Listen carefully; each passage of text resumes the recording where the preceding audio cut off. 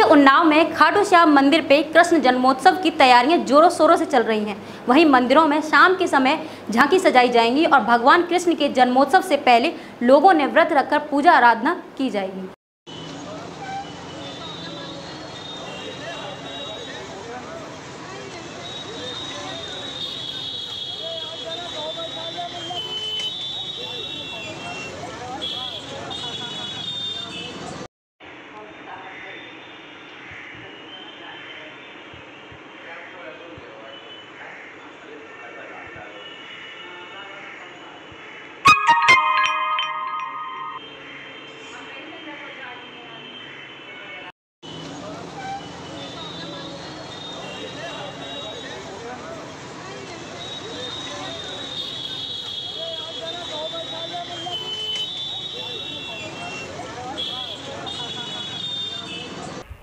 देखो, मंदिर प्रशासन की तरफ़ से ये तैयारियाँ हैं। यहाँ कोरोना के देखते हुए, ठीक है?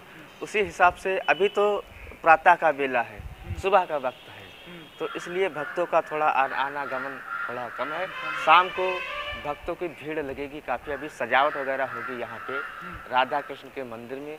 तो यहाँ पे जो व्यवस्था होगी तो शाम की बेला में होगी, क्योंकि रात्रि 12 बजे का उनका जन्म होगा।